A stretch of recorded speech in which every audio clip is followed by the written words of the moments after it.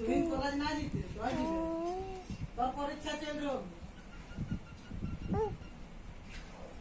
তোর এক্সাম সামনে সামনে চলে